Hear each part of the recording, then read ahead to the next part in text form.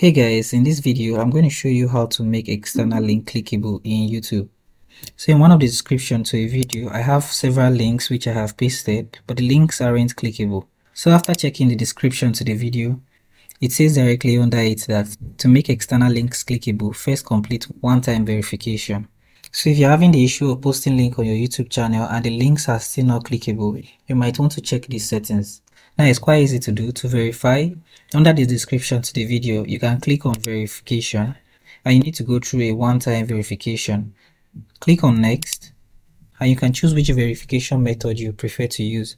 There are currently three which is use video verification and the approval time takes usually up to one day. With that you need to create a 30 seconds video of yourself looking into your phone camera.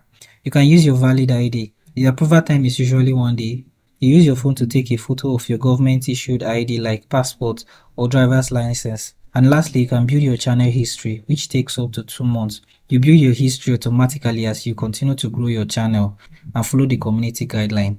Now, if you do not find this option and you want to check through your settings, first thing you need to log in into your YouTube studio. Once you're logging into your YouTube studio, come to this section and click on settings. Here you're going to see channel, click on channel and click on feature eligibility. Here you see advanced features. Click on the drop down to expand on this and in this section this could be one of the reasons why your links aren't clickable. Click on access features and you'll be brought here again. Now select your preferred method for verification and click on next. You can request for an email to be sent with the verification link or you can scan QR code with your phone. If you want to copy the link, click on scan QR code and you'll be able to copy the link. Now open the link on your mobile and follow through the steps for your verification. Upon submitting your verification, you should now see pending on advanced features. Now upon verifying your account, under advanced features, you should now see that you have been verified.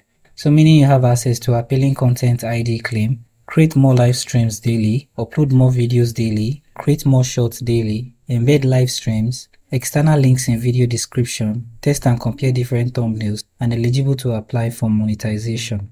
Now when you go to your video description, you should now see that the links are now clickable. So thank you for watching this video on how to make external link clickable on YouTube. And I hope you found this video helpful. If you do find this video helpful, do make sure to like, subscribe, and have the post notification turned on.